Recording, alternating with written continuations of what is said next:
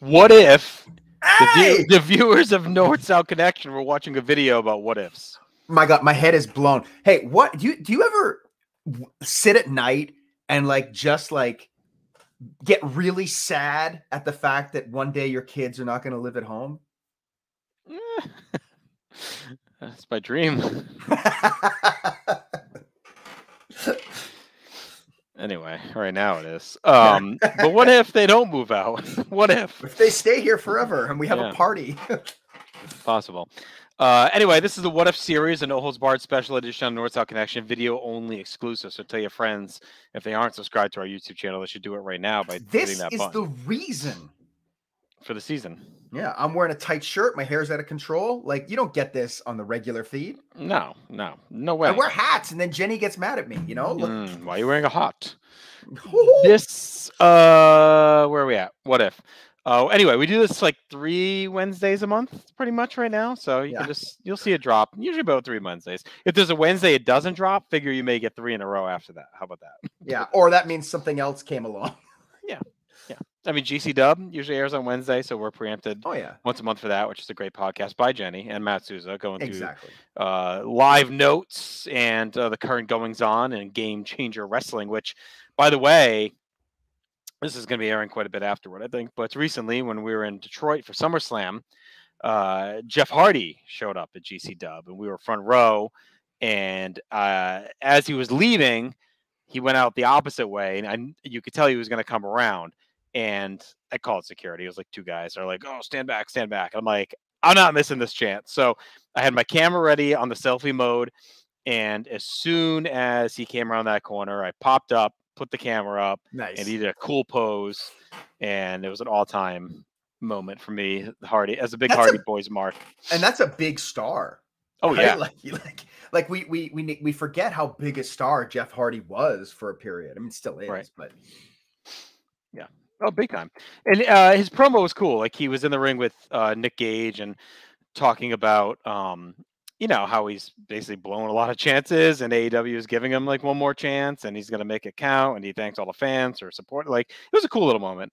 Nice. Um, you know, as, as a Hardy Boy Mark. fan all these years, I've always wanted to. Yes, Mark. Mark. Yep. Uh, you know, you you want them to both be happy and healthy, right? More than anything else. Mm. Um, so I'll start Yeah. calling you MT. keep waiting, keep waiting for that. I keep waiting for that day to uh to hit MT. Hmm.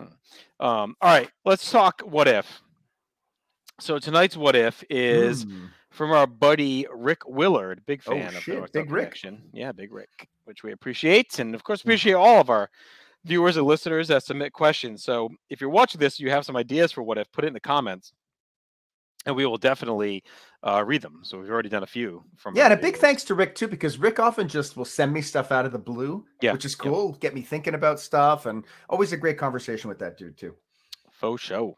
All right. Uh, his question tonight, Aaron.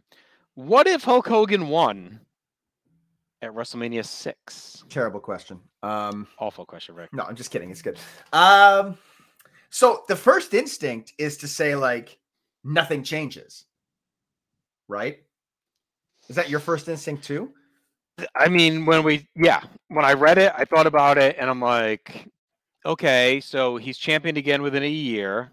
Mm-hmm. He made events pretty much SummerSlam anyway. Yeah.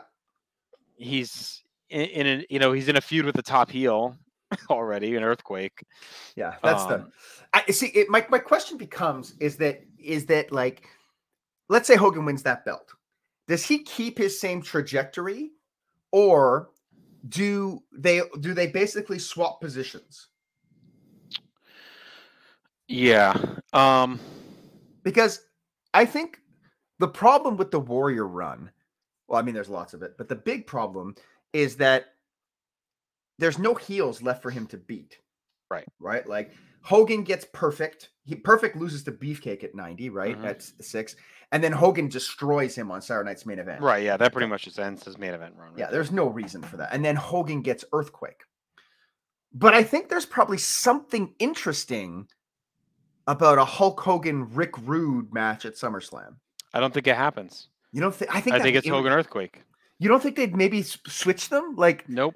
you nope. think I- Earthquake I- just? I- yeah.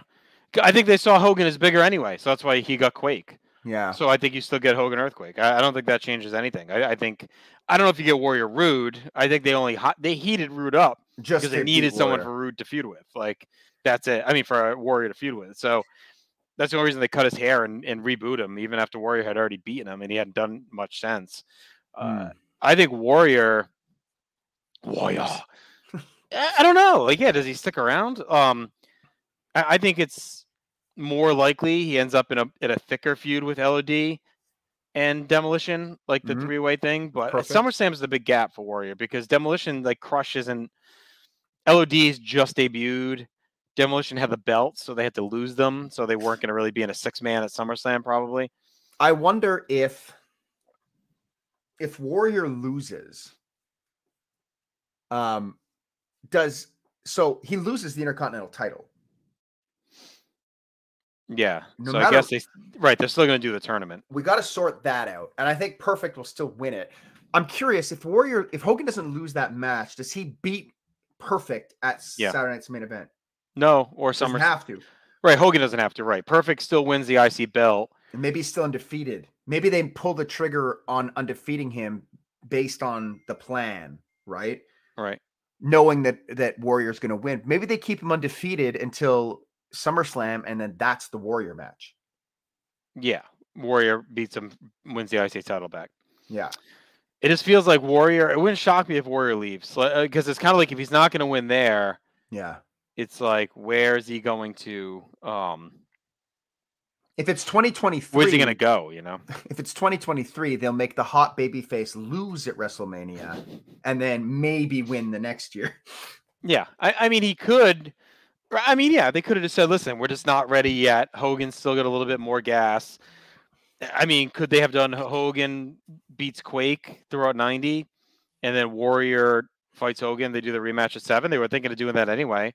So yeah. Warrior spends the year climbing back up, destroys Perfect, wins the IC belt, and they run it back at seven. I mean, I think it's possible. I think, I think two people get get hurt the most in this, and it's not Warrior. I think mm. one is Slaughter. Yeah. Um, I think his title reign goes away. Uh, there's no way Slaughter's beating Hogan at the Rumble. You know, that's just not happening. Um, they may use Slaughter as a foe for Hogan, but I don't see that being a um, I don't see that being a title change. And then I think Savage may be affected too because if Warrior leaves, yeah, uh, that's done. If Savage and even if Warrior doesn't leave, like the whole crux of that story is Savage wants the title back. So he chases Warrior. Warrior won't give him a title shot or whatever, so he costs him the so belt. Weird. Right? So you're not going to run Savage Hogan back probably. No. So what happens with Savage and Mania? You're not probably going to do the story with Warrior without the belt. Without Savage costing Warrior the title, the career-ending stip isn't as it's not doesn't need to be there. Right, there's not much gravity behind it, right? Unless he costs him the Intercontinental which I know is not quite the same because I think you could almost move Savage into that IC feud. If let's say Warrior's the IC champion coming out of SummerSlam, let's say you could almost move him into that IC feud in the later part of 90 and kind of run something similar to like like little shot. I don't know why. just considering he's a face. Um, I see. I think the whole thing. I, I get that, like they won't do this, but I think the whole thing is much more interesting if they actually just switched all the roles. Right. Like if everything Hogan does in 90, Warrior does, and if everything Warrior does in 90, Hogan does. And you can still keep all the other pieces. Yeah. The only problem is the Savage one at WrestleMania 7 because man, Ho- Slaughter beating Hogan for the title at Royal Rumble is probably way more meaningful. And then right? Warrior beats, but Warrior beating Slaughter to me isn't. Like Hogan beating Slaughter only is cool because, like Hogan's already been champion. He just gets the belt back. He beats yeah. the Iraq guy. He's he's the American. Like Warrior to me, if he's going to win it for the first time, it shouldn't be. Well, he, it's going to be like be monumental. Hogan. Yeah, it's going to be monumental. You know, it's going to mean something. Well, that's matches at WrestleMania right? You could probably still get to like like Hogan loses the belt to Slaughter at Rumble and he, he rematches at Mania, right? And he and he beats him at Mania. Warrior if like Savage costs Warrior the Intercontinental title earlier in the year, and maybe you build someone up else as a consequence. Yeah. I think if Hogan wins, he just keeps it. Like I think he fused with Earthquake, nothing changes. I agree. then They either do Hogan Warrior 2 at Mania or they just do Slaughter built up as a as a challenger. Um, or Quake can still injure Hogan even with the title and they blow off Hogan Quake at Mania. They could do that. It get the title. Say it again, you broke up for a second. Sorry, if Ultimate Warrior isn't the champion, Hogan's the champion throughout 90. Do you think they pulled the trigger on Quake? I don't know. I don't think they saw any of those guys big enough. Like I think But you I think- think, they'd think Slaughter was big enough, right? No, I mean, here's what you really could do. It's, I mean, you could do the Hogan Rude thing at SummerSlam, like you said. Quake beats Warrior at SummerSlam, and then injures Hogan right after SummerSlam. Hogan misses Survivor Series because it's like a who gives a fuck anyway. He wasn't going to Yeah. defend the title there anyway. And then you do Hogan Quake at Mania. Hogan is champ and he just beats him and retains. Um, the only problem is there you're beating Warrior, you know, two straight big pay per views with Hogan Yeah. and with Quake. Um, so you got to do something to redeem him. Maybe he wins the Rumble. Maybe. Like I see for me, yeah, like for me, the whole point of the exercise would be to rehabilitate that warrior title run. To actually give it something good, right? And so I think that what you just laid out is plausible. I think you could also wait uh seven to crown warrior. You Right. just lose the savage thing and you can still keep everything else. So do you not even do well? I guess like Hogan Warrior. The question is, what if Hogan beats Warrior? Because I'm thinking, like, what if you don't even do that at six? Is that kind of what you're saying? Or No. you're saying do it twice? Well, I think Hogan Hogan squeaks out a win against Warrior. You can even make it controversial or whatever, Right. like maybe slightly heel from Hogan. or or made his foot under the foot's on the under the rope. the yeah, ref something it. where it's something where it puts into the Yeah. question. And then Warriors next year is getting back there, right? Right. So he takes out Perfect Yep. at at Stardust main event. He takes out Earthquake, but actually takes him out, right. right? And then Hogan loses the title to Slaughter. I mean, even like he's it's okay to have him do that. And then later on, you run Hogan Warrior as like the solidifier. You run Hogan Warrior at um SummerSlam 91. Yeah, Because SummerSlam 91, the main event, like you can still keep that whole card and change the main event and make the show. I just feel like it wasn't their style then. oh, Like, it's not. It's No, not. but You're but more that more that Hogan Warrior is a Mania main event for them. Like I don't Yeah, I don't see them punting that to a SummerSlam. If you look at the history of their SummerSlams at that point, right. they were tags and then Warrior Rude. Like when's the first time they really saved a big money match for the main event at SummerSlam? It's a while. Bret Undertaker, I guess. 97. They had already fought though. That's not like a money. I would Austin Taker. I think would be like the first big, like WrestleMania caliber main event. I agree with Austin Taker, but you think that's bigger than Bret Taker with Bret with the Canada stuff and Shawn as Yeah, the ref? I mean, only because they had already just fought the Rumble the year before for the title. Like, that one doesn't count. It sucks. yeah, uh, all right. I'll, I'll say '97 or '98 are the first time where they have a Mania level main event um, that they blow off at SummerSlam. So I just don't think they. I don't think they're running Hogan Warrior at SummerSlam. You don't think here? Here's another one. You don't think Luger Yoko is a in, in their eyes like No. Because they were gonna make it again until the fans decided otherwise, right? In theory, Yeah, but it's not like a mega match. I don't. I agree. It's it, They never run a big mega Mania match at a SummerSlam. um Su- the, uh, SummerSlam 91, it's not dissimilar to running Undertaker Brett at 97 That's six years later, because they've already fought. but it's six years later.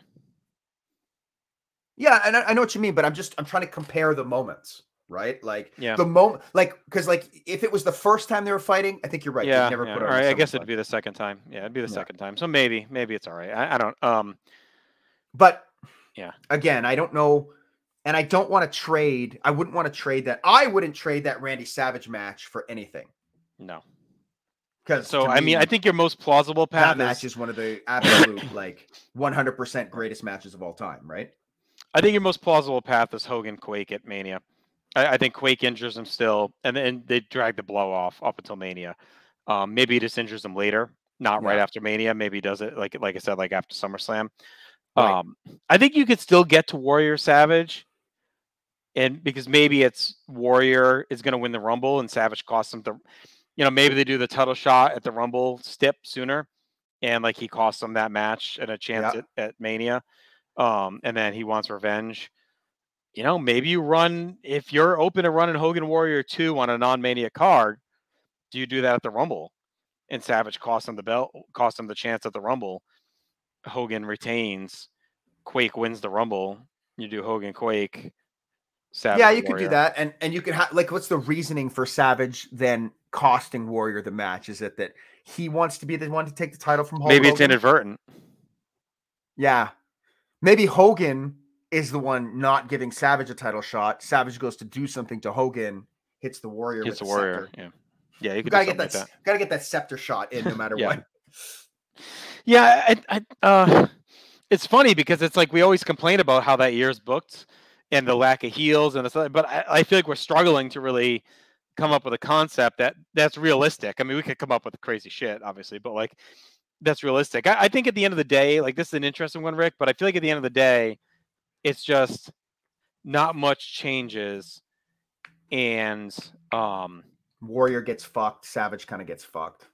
and I think at the end of the day, we still just get to like Flair when he comes in. Like Right. Hogan's just champion the whole time, probably.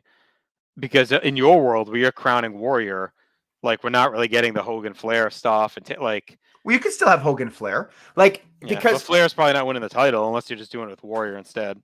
You could do everything. So that's what I'm saying. You could do. I think you could do almost everything that Hogan did in that time period with Warrior, and I think it's better. Not because I think Warrior's better, but it's just new ground and different, right? Like, like to me, the problem with War, like I, I really to this day, and I'll probably go to my grave thinking Warrior's title reign is probably better if he's the one who gets to take out Earthquake. Like Earthquake brutalizes Hogan, and like Hogan can't handle him, and Warrior can. Right? Right. now, I know that's not their style, but if you're actually going to build that star, to me, that feels like the step you want to take. In the same way that like Bob Backlund got fucked up by the Iron Sheik, and so Hogan came in and took care of him. You know, like, and someone else did, and that's how you transfer that heat. And yeah, like I, I think even in in '91, if you have Warrior as the champion, I think Warrior and Undertaker is just as compelling a match at Survivor Series. Well, so this is my other wild card. Does does Taker? It's not outside the realm that they hotshot him even quicker. Like he shows up at Survivor Series 90 yeah, do they put him in the fucking Mania main event? You know what I mean? Like they're they've done it before where they just like really ratchet guys up quickly. Um, I don't Yeah. know when he signed. You could deb- debut him before, a little before, like if that's your plan as well. Hmm. Um, you know, you could do that. Or do they do Taker Warrior at Mania if Hogan's champion against Earthquake on top? You know, maybe they do that. and then Taker probably loses that match, and you lose Right. the whole streak. Yeah, because when's the body bag? It's like right after that, right?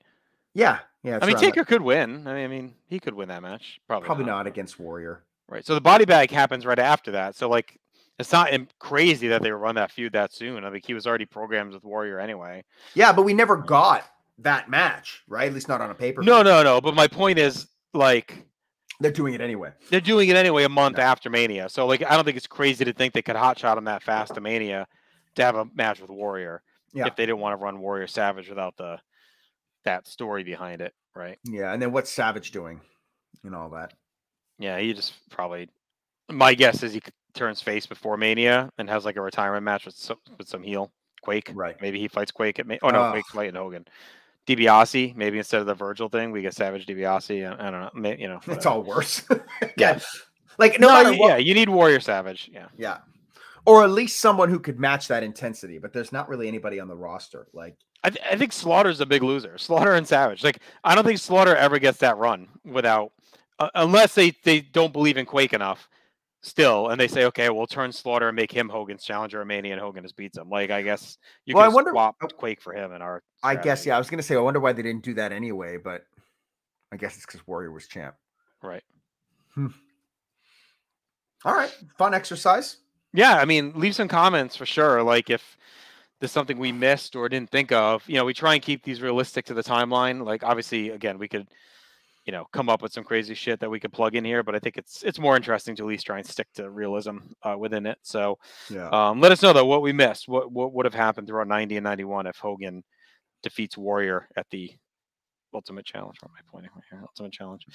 Um. Anyway, check it out everything North South Connection. Like us, subscribe. Uh, we're here every Saturday at No Holds Barred.